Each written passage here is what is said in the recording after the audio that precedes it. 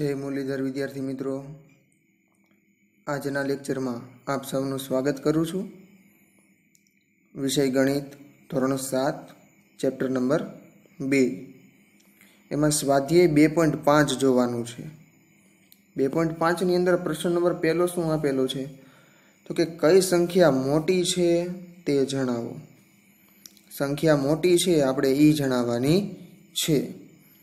તો એની અંદર આપણને ટોટલ છ દાખલાઓ આપેલા છે. તો આપણે જોઈને જ કહી શકીએ કે ભાઈ કઈ સંખ્યા મોટી છે, કઈને કઈ સંખ્યા નાની છે. તો આપણે દશાંશ અહીંયા પોઈન્ટવાળી સંખ્યા આપેલી છે. તો આપણે ધોરણ છની અંદર દશાંશ સંખ્યાઓ શીખી ગયા હતા. તો દશાંશ સંખ્યાઓ શું હતી?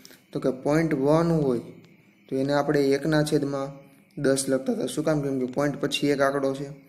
હવે આવી રીતના આપેલું હોય તો કે ઝીરો પોઈન્ટ ઝીરો વન તો આને આપણે કેમ લખતા હતા? એકના છેદમાં સો. કેમ કે પોઈન્ટ પછી કેટલા આંકડાઓ છે? બે આંકડાઓ. એટલા માટે છેદમાં સો આપણે લખતા હતા. અને ત્યાર પછી zero point zero zero one હતું, તો આને આપણે શું લખતા હતા? એકના છેદમાં એક હજાર. શું કામ? કેમ કે પોઈન્ટ પછી કેટલા આંકડાઓ છે? ત્રણ આંકડાઓ છે, એટલા માટે. તો એકના છેદમાં દસ હોય એને દશાંશ કહેવાય, એકના છેદમાં સો હોય એને શતાંશ કહેવાય અને એકના છેદમાં હજાર હોય, એને સહસ્ત્રાંશ કહેવામાં આવે છે. ઓકે, વિદ્યાર્થી મિત્રો, આપણે ધોરણ છ ની અંદર શીખી ગયા છીએ. દશાંશમાંથી પોઈન્ટમાં લખવાનું અને પોઈન્ટમાંથી દશાંશમાં લખવાનું. બરોબર છે? અપૂર્ણાંકમાં કઈ રીતે લખી શકાય? એ આપણે ધોરણ છ ની અંદર શીખી ગયા. તો અહીંયા આપણે એનો ઉપયોગ કરીને જ દાખલા ગણવાના છે. તો પેલું શું છે કે ઝીરો પોઈન્ટ પાંચ કે ઝીરો પોઈન્ટ ઝીરો પાંચ આ બે સંખ્યા આપેલી છે. તો ઝીરો પોઈન્ટ પાંચને આપણે કઈ રીતે લખી શકું? ઝીરો પોઈન્ટ પાંચ છે એને કઈ રીતે પોઈન્ટ પછી કેટલા આંકડા હોય તો કે એક આંકડો. તો પાંચ છે અંશમાં જે આંકડો છે અંશમાં આવશે અને પોઈન્ટ પછી એક આંકડો છે એટલા માટે છેદમાં શું આવશે? દસ. ત્યાર પછી બીજી રકમ શું હતી? ઝીરો પોઈન્ટ ઝીરો પાંચ તો કેટલા આંકડાઓ છે પોઈન્ટ પછી? તો કે પાંચ. તો છેદમાં કેટલા આવશે? સો અને અંશમાં કેટલા આવશે? પાંચ. તો વિદ્યાર્થી મિત્રો, અહીંયા તમે જોઈ શકો છો કે અહીંયા પેલી પોઈન્ટ પાંચ છે, એના આપણે અહીંયા અપૂર્ણાંકમાં પાંચના છેદમાં દસ આવ્યું. અને આનું શું આવ્યું? પાંચના છેદમાં સો. તો પાંચના દસ ભાગ કરીએ એ મોટા કહેવાય કે પાંચના સો ભાગ કરીએ એ મોટા કહેવાય. તો આપણને ખબર છે કે પાંચના દસ ભાગ કરીએ, બંને સંખ્યાની કમ્પેરિઝન એટલે કે સરખામણી કરવામાં આવે. તો કઈ સંખ્યા મોટી થશે? તો કે પાંચના છેદમાં દસ. તો ઓલરેડી કઈ સંખ્યા મોટી થઈ? તો કે ઝીરો પોઈન્ટ પાંચ છે એ મોટું થશે. ત્યારબાદ છે ઝીરો પોઈન્ટ સાત અને ઝીરો પોઈન્ટ પાંચ. તો અહીંયા બંને સંખ્યાઓ સેમ આપી નથી, પણ આંકડાઓ નાના મોટા આપેલા છે પોઈન્ટ પછીના. તો આપણે ડાયરેક્ટ કહી શકીએ કે ઝીરો પોઈન્ટ સાત છે એ શું છે? મોટા છે. ઝીરો પોઈન્ટ પાંચ કરતાં ઝીરો પોઈન્ટ સાત છે એ મોટા છે. ત્યારબાદ છે દાખલા નંબર ત્રણ, સાત કે ઝીરો પોઈન્ટ સાત. ઓકે? એમાંથી કઈ સંખ્યા મોટી? સાત કે ઝીરો પોઈન્ટ સાત. તો આપણે ડાયરેક્ટ કહી શકીએ, સાત આખી સંખ્યા છે, આ પોઈન્ટવાળી સંખ્યા જેથી આપણે કહી શકીએ સાત છે, એ મોટી સંખ્યા છે. ત્યાર પછી છે દાખલા નંબર ચાર, એક પોઈન્ટ સાડત્રીસ કે એક પોઈન્ટ ઓગણપચાસ. તો અહીંયા જોઈએ કે એક પોઈન્ટ સાડત્રીસ, એક પોઈન્ટ ઓગણપચાસ. તો આ બંને સંખ્યાઓ જે છે એકડો તો આખો આખો બેમાં આપેલો છે. તો પાછળની પોઈન્ટ પછીની સંખ્યા જોઈ લો, સાડત્રીસ અને ઓગણપચાસ. કઈ સંખ્યા મોટી કહેવાય? તો કે ઓગણપચાસ મોટી કહેવાય. એનો મિનિંગ એવો થયો કે એક પોઈન્ટ ઓગણપચાસથી સંખ્યા મોટી થશે. ત્યાર પછી છે કે બે પોઈન્ટ ઝીરો ત્રણ કે બે પોઈન્ટ ત્રીસ. આ બંનેમાંથી કઈ સંખ્યા મોટી છે તે જોવાનું છે. બે પોઈન્ટ ઝીરો ત્રણ કે બે પોઈન્ટ ત્રીસ. તો તમે જોઈ શકો બે અને બે. બંને સંખ્યાએ આખી સંખ્યા તો બે આપેલી જ છે. તો પોઈન્ટ પછીની સંખ્યા જો તો અહીંયા પોઈન્ટ પછી ફક્ત ને ફક્ત ત્રણ છે અને અહીંયા કેટલા આવી જશે ત્રીસ આવી જાય તો ત્રણ મોટા કહેવાય કે ત્રીસ મોટા કહેવાય? તો કે ત્રીસ મોટા કહેવાય એનો મિનિંગ એવો થયો કે બે પોઈન્ટ ત્રીસ છે એ સંખ્યા મોટી થશે. ત્યાર પછી છે ઝીરો પોઈન્ટ આઠ કે ઝીરો પોઈન્ટ અઠ્યાસી. વિદ્યાર્થી મિત્રો ઝીરો પોઈન્ટ આઠ અને ઝીરો પોઈન્ટ અઠ્યાસી. આઠ છે, તમે એની એસી પણ લખીશું. કેમ કે અહીં પાછળ બે સંખ્યા છે, તો અહીં બે સંખ્યા બનાવી તો એની પાછળ તમે ઝીરો પણ લખી શકો શું કામ કેમ કે આપણે દાખલો સરળ બનાવવો છે એટલા માટે. ઓકે? તો અહીંયા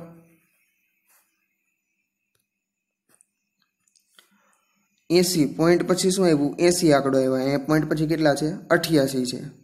પોઈન્ટ પછી એંસી અને પોઈન્ટ પછી અઠ્યાસી. તો એંસી મોટા કહેવાય કે અઠ્યાસી મોટા કહેવાય? તો કે અઠ્યાસી મોટા કહેવાય. એનો મિનિંગ એવો થયો કે ઝીરો પોઈન્ટ અઠ્યાસી છે, એંસી ઝીરો પોઈન્ટ એંસી કરતાં મોટા કહેવાય. લખીશું કેવી રીતે? તો આપણે જોઈએ કે પ્રશ્ન નંબર એક, કઈ સંખ્યા મોટી છે ને કઈ રીતે દર્શાવાય? તો કે આવી રીતના દર્શાવાશે. ઝીરો પોઈન્ટ પાંચ greater than zero point zero પાંચ. એટલે એનો મિનિંગ એવો થયો કે ઝીરો પાંચ, ઝીરો પોઈન્ટ પાંચ છે મોટા છે. ઓકે, વિદ્યાર્થી મિત્રો, અહીંયા તમે એકથી છ દાખલાઓ આપણે નાની મોટી સંખ્યા આપણે ગોતવાની કીધી હતી. મોટી સંખ્યા ગોતવાની કીધી હતી. તે આપણે દર્શાવેલી છે. ત્યારબાદ છે પ્રશ્ન નંબર બે, દશાંશનો ઉપયોગ કરીને રૂપિયામાં રૂપાંતર કરો. તો વિદ્યાર્થી મિત્રો, આપણને એ ખબર હોવી જોઈએ, રૂપિયામાં રૂપાંતર કરવું છે તો કે એક રૂપિયો. એક રૂપિયો હોય તો એને બરાબર કેટલા પૈસા થાય? સો પૈસા થાય. કેટલા થાય? સો પૈસા. પણ જ્યારે પૈસામાં ફેરવવાનું રૂપિયામાં ફેરવવાનું કે, બરોબર છે, પૈસામાં આપણને દાખલો આપેલો હોય, અને રૂપિયામાં ફેરવવાનું કે, તો આપણે ભાગવું પડે. નાનો એકમ આપેલો હોય ને મોટો એકમ ગોતવાનું કીધું હોય ને, તો આપણે ભાગવું પડે. ઓકે, વિદ્યાર્થી મિત્રો? તો, અહીંયા આપણે જોઈએ કે પહેલું શું છે કે સાત પૈસા. સાત પૈસા છે, એને આપણે તો કે એક પૈસા એ, સો પૈસા બરાબર કેટલો થાય છે? તો કે એક રૂપિયો થાય, બરાબર છે? તો આપણે એને રૂપિયામાં ફેરવવાનું છે. રૂપિયામાં ફેરવવાનું હોય તો આપણે એને કેટલા વડે ભાગવું પડે? સો વડે ભાગવું પડે. ત્યારે એક રૂપિયો થાય ને, સો પૈસા એટલે એક રૂપિયો થાય. એટલા માટે આપણે સો વડે એને ભાગવું પડશે. તો કે સાત ગુણ્યા એક એટલે કે સાત એકા સાત ભાગ્યા સો. કેટલા શૂન્ય દેખાય છે? તો કે છેદમાં બે શૂન્યો દેખાય છે. કે સાત શૂન્ય. પછી પોઈન્ટ મૂકી દો અને શૂન્ય. આપણો રૂપિયામાં ફરી ગયો. તો કેટલા રૂપિયા જવાબ આવ્યો? ઝીરો પોઈન્ટ ઝીરો સાત જવાબ આવેલો છે. ત્યાર પછી શું છે કે સાત રૂપિયા અને સાત પૈસા. આપણી રકમ છે. સાત રૂપિયા, સાત પૈસા. તો સાત રૂપિયા આખા છે. એને આપણે રૂપિયામાં ફેરવવાના નથી. તો રૂપિયામાં આપણે લખી નાખશું. રૂપિયા સાત વત્તા પૈસા શું છે? તો કે પૈસાને આપણે કેટલા વડે ભાગવું પડશે? તો કે સાત પૈસાને આપણે સો વડે ભાગવું પડે. કેટલા શૂન્યો છે? તો કે બે શૂન્યો છે. તો કે પહેલા શૂન્યમાં આપણે સાત મૂકીશું, બીજા શૂન્યમાં આપણે આગળ એક સંખ્યાને એટલે એટલા માટે શૂન્ય મૂકી દઈશું તો બે શૂન્ય થઈ ગયા. ત્યાર પછી આગળ પોઈન્ટ મૂકી દો અને ઝીરો આ જે છે સાત પૈસા છે એ કેમાં આવી ગયા? રૂપિયાની અંદર આપણે ફેરવી નાખ્યા. સાત પૈસાને કેવી રીતે રૂપિયામાં લખાશે? ઝીરો પોઈન્ટ ઝીરો સાત. રૂપિયા એવી રીતે લખાશે. તો રૂપિયા સાત વત્તા રૂપિયા ઝીરો પોઈન્ટ ઝીરો સાતનો સરવાળો કરીએ તો આપણને રૂપિયાની અંદર આ આખી આખી રકમ છે એ રૂપિયાની અંદર કેવી રીતે લખાશે? તો કે રૂપિયા સાત પોઈન્ટ ઝીરો સાત જે આપણો ફાઇનલ આન્સર છે. આવી રીતે રૂપિયામાં લખાશે. ઓકે, વિદ્યાર્થી મિત્રો, અહીંયા પ્રશ્ન નંબર બેનું આપણને સૂચના શું આપેલી હતી? કે આપેલી રકમ જે છે એને આપણે રૂપિયામાં રૂપાંતર કરવાની છે. જે આપણને રૂપિયા અને પૈસામાં છે તો પૈસામાં રકમો આપેલી હોય. ઓકે વિદ્યાર્થી મિત્રો? એને આપણે રૂપિયાની અંદર કન્વર્ટ કરવાની છે, એટલે કે રૂપાંતર કરવાની છે. ત્રીજો દાખલો, તો કે સત્યોતેર રૂપિયા અને સત્યોતેર પૈસા, એવો આપણને પ્રશ્ન પૂછેલો છે. તો સત્યોતેર રૂપિયા આખા છે, તો એ આપણે રૂપિયા સત્યોતેર એમ લખી નાખ્યું. આ વિદ્યાર્થી મિત્રો, રૂપિયાની નિશાની દર્શાવેલી છે. આવી રીતે આમ કરેલું છે તે રૂપિયાની નિશાની દર્શાવેલી છે. ત્યાર પછી છે, આ તો આખા છે એ તો આપણે લખી નાખ્યા. ત્યાર પછી શું આવ્યું? સત્યોતેર પૈસા. અહીંયા આપણે ભાગ પાડેલા છે, સત્યોતેર પૈસા. સત્યોતેર રૂપિયા વત્તા સત્યોતેર પૈસા. હવે સત્યોતેર પૈસા છે, એને આપણે રૂપિયામાં ફેરવવું હોય તો કેટલા વડે ભાગવું પડે? કે સો વડે ભાગવું પડશે. તો કે સત્યોતેરને આપણે સો વડે ભાગીએ. તો કેટલા શૂન્યો છે? બે શૂન્ય. આપણે રકમ કેટલી છે? બે રકમ છે. તો બે આંકડા તો આપણને શૂન્યમાં મળી ગયા. આગળ પોઈન્ટ લગાડી દો અને ઝીરો લગાડી દો તો આપણને શું મળી ગયું? ઝીરો પોઈન્ટ સત્યોતેર રૂપિયા મળી ગયું. સત્યોતેર પૈસાને આવી રીતે રૂપિયામાં લખાશે. જે અહીંયા આપણે લખેલું છે. હવે બંને સંખ્યાઓનો સરવાળો કરીએ કે રૂપિયા સત્યોતેર વત્તા રૂપિયા ઝીરો પોઈન્ટ સત્યોતેર. તો જવાબ કેટલો આવશે? રૂપિયા સત્યોતેર પોઈન્ટ સત્યોતેર. ત્યાર પછી છે દાખલા નંબર ચાર કે પચાસ પૈસા. પચાસ પૈસા. હવે પૈસા જે છે એને આપણે રૂપિયામાં ફેરવવું હોય તો આપણે કેટલા વડે ભાગવું પડે? સો વડે. શું કામ સો વડે ભાગવું પડે? કેમ કે સો પૈસા બરાબર એક રૂપિયો થાય છે. એટલા માટે આપણે સો વડે ભાગવું પડે. તો સો વડે ભાગીએ, પચાસને સો વડે ભાગીએ. તો કેટલા શૂન્યો નીચે આવ્યા? તો કે બે શૂન્ય ઉપર. આંકડા આપણને બે મળેલા છે, તો પચાસ લખી નાખવાના. આગળ પોઈન્ટ અને ઝીરો આ આપણું રૂપિયાની અંદર કન્વર્ટ થઈ ગયા. પચાસ પૈસાને કેવી રીતે લખાશે? રૂપિયા ઝીરો પોઈન્ટ ઝીરો પચાસ, રૂપિયા ઝીરો પોઈન્ટ પચાસ આવી રીતે લખાશે. ત્યારબાદ છે પાંચમો દાખલો કે બસો ને પાંત્રીસ પૈસા. બસો ને પાંત્રીસ પૈસા. અહીંયા આપણને પૈસાની રકમમાં જ આપણને ખાલી પૈસા જ આપેલા છે. તો આપણે એને રૂપિયામાં ફેરવવાના છે. તો અહીંયા ભાગ પાડી નાખો. બસો પૈસા વત્તા પાંત્રીસ પૈસા આપણે ભાગ પાડી નાખ્યા. બસો વત્તા પાંત્રીસ, એટલે બસો ને પાંત્રીસ પૈસા મળી જાય. તો હવે પૈસા છે એને રૂપિયામાં ફેરવવું હોય તો શું કરવું પડે? તો કે હજાર વડે આપણે સો વડે શું કરવું પડે? ભાગવું પડે. સો વડે ભાગવું પડે. તો કે રૂપિયાનો એકમ આપણે આગળ લખી નાખ્યો. સો વડે ભાગી નાખ્યું બે જગ્યાએ. હવે બસો ને સો વડે ભાગીએ તો કેટલા આવી જાય? રૂપિયા બે અને પાંત્રીસને સો વડે આપણે એટલે કે છેદમાં બે શૂન્યો છે તો કે પાંત્રીસની આગળ શું લાગી જાય? પોઈન્ટ અને ઝીરો તો આપણે રૂપિયામાં ફેરવાઈ ગયા એટલે કે રૂપિયા ઝીરો પોઈન્ટ પાંત્રીસ છે એ તમે જોઈ શકો છો. તો હવે આ બંને સંખ્યાઓનો સરવાળો કરીએ કે બે રૂપિયા વત્તા રૂપિયા ઝીરો પોઈન્ટ પાંત્રીસનો સરવાળો કરીએ તો શું મળશે? રૂપિયા બે પોઈન્ટ પાંત્રીસ આપણને જવાબ મળશે. ત્યાર પછી છે પ્રશ્ન નંબર ત્રણ. પ્રશ્ન નંબર ત્રણની અંદર શું કીધેલું છે? એની અંદર બે દાખલાઓ આપેલા છે. એની અંદર એ પાછા બે કે પહેલા દાખલાની અંદર બે દાખલા આપેલા છે અને બીજા દાખલાની અંદર ટોટલ ત્રણ દાખલાઓ આપેલા છે. તો બંને દાખલાઓ સમજી લઈએ કે પાંચ સેમીને પાંચ સેમી આપણી રકમ છે. એને સેન્ટીમીટરને મીટરમાં ફેરવવાનું છે ને કિલોમીટરમાં ફેરવવાનું છે. કેમાં સેન્ટીમીટરને મીટરમાં ફેરવવાનું છે અને કિલોમીટરમાં ફેરવવાનું. બીજા દાખલામાં પાંત્રીસ મીમી, પાંત્રીસ મિલીમીટર એવું આપણે કીધું છે, એને આપણે સેન્ટીમીટર, મીટર અને કિલોમીટરમાં ફેરવવાનું છે. એટલે આની અંદર આપણે બીજા દાખલાની અંદર ત્રણ દાખલાઓ બનશે અને પહેલા દાખલાની અંદર કેટલા? બે દાખલાઓ બનશે. તો જોઈએ આપણે એને કઈ રીતે સોલ્યુશન લાવવાનું છે. પાંચ સેમી. તો પેલા મીટરમાં આપણે ગોતી લઈએ, મીટર હોય, તો કે સો સેન્ટીમીટરે કેટલું થાય છે? એક મીટર થાય. કેટલું થાય? સો સેન્ટીમીટરે કેટલું થાય? એક મીટર થાય. ઓકે, વિદ્યાર્થી મિત્રો, તો સેન્ટીમીટર છે, આપણે મોટા એકમમાં જવું હોય તો સો વડે શું થાય? ભાગવું પડે. સો વડે ભાગીએ એટલે મોટો એકમ આપણને મળી જાય. તો પાંચને સો વડે ભાગીએ તો કેટલા શૂન્ય આવ્યા? બે શૂન્ય આવ્યા તો એને લખાશે કેટલો? પાંચ અને આગળ શૂન્ય. કેમ કે આગળ કોઈ આંકડો નથી, એટલા માટે શૂન્ય લગાડવાનું. પોઈન્ટ પછી ઝીરો આ ઝીરો પોઈન્ટ ઝીરો પાંચ આપણને શું મળી ગયું? મીટરની અંદર આપણો ફાઇનલ આન્સર છે તે. હવે પાંચ સેન્ટીમીટર આપેલું છે ને, એને આપણે કિલોમીટરમાં ફેરવવાનું છે. કેમાં ફેરવવાનું છે? કિલોમીટરમાં ફેરવવાનું. તો સેન્ટીમીટરને મીટરમાં ફેરવવું હોય, તો આપણે પાંચના છેદમાં સો લખ્યું હતું ને, તો એ તો લખવાનું. પાંચના છેદમાં શું આવી ગયું? સો. પણ હજી એને કિલોમીટરમાં ફેરવવું છે, એટલે એને હજાર વડે પણ આપણે ભાગવું પડશે. તો હજાર વડે ભાગીએ તો કેટલા થઈ ગયા? અહીંયા પાંચ, બે મીંડા અહીંયા ને ત્રણ મીંડા અહીંયા. તો પાંચના છેદમાં કેટલા થઈ ગયા? એક અને એકનો ગુણાકાર કરીએ તો એક. તો છેદમાં કેટલા મીંડા મૂકવા પડે? ટોટલ પાંચ મીંડાઓ મૂકવા પડશે. તો કે પાંચના છેદમાં કેટલા આવી ગયા? એક લાખ.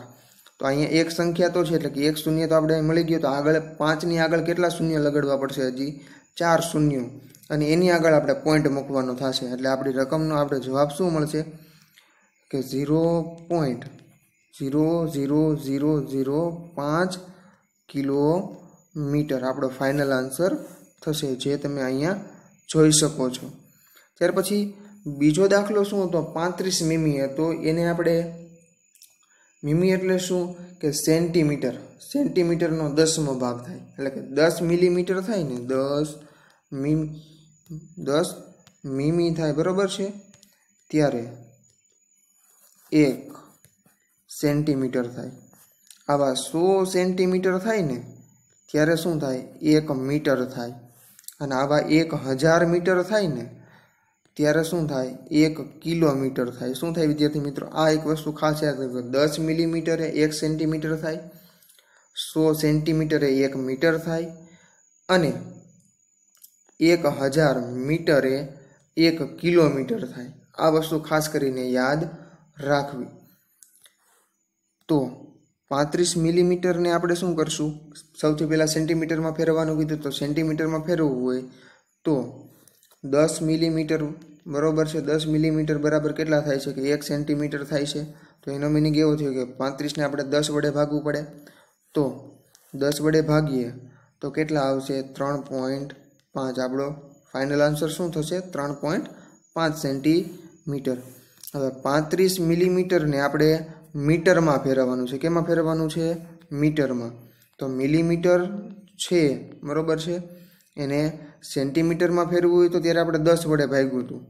અને મીટરમાં ફેરવવું હોય, બરોબર છે? તો હજી આપણે એને સો વડે ગુણવું પડે.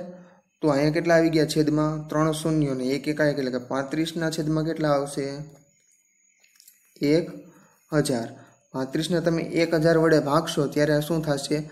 મીટરમાં આપણું ફેરવાશે. કેમ કે દસ વડે ખાલી આપણે ભાગશું તો સેન્ટીમીટરમાં ફેરવાશે. સો વડે ભાગવાથી શું થશે? દસ અને સો વડે ભાગવાથી શું થશે? ડાયરેક્ટ મીટરમાં આપણને જવાબ મળશે. એટલા માટે છેદમાં મેં એક શું લખેલું છે? હજાર લખેલું છે. હજાર કેવી રીતે આવ્યા? તો કે આવી રીતે આવેલા છે. તો અહીંયા પાંત્રીસના છેદમાં હજાર છે.